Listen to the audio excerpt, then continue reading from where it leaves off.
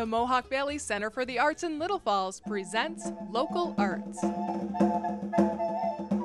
The Tramontane Cafe on Lincoln Street in Utica has become known as the place to catch live performances from the local music scene. Today, we catch up with Arethusa, a father and son Renaissance and world music duo, who together play over two dozen instruments.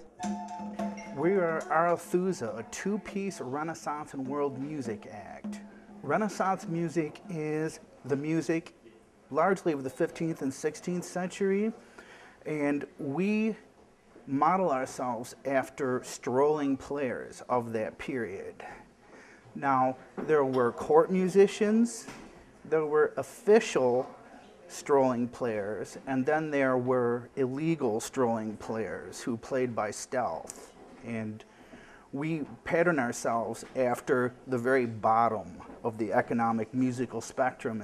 Um, um, we play borrowed, stolen, assorted instruments. Um, we never play anything the same way twice.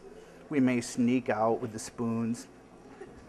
Um, what we're trying to do is take all of those traditions and work them into the strolling player theme, if you will.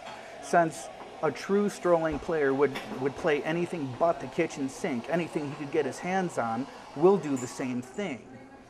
And at the beginning of a set, we have no idea what we're going to play one minute later.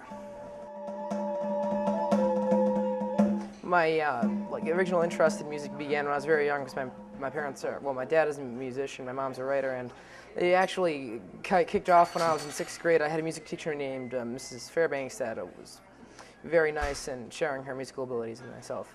I think people like feel uh, a bit of the past, and I think it's important to remember the past because, uh, well, there's a lot you can learn from it, and I think that people uh, feel comfortable with it. I think it's very uh, lively. I think it's very important to remember uh, sounds that have already been heard.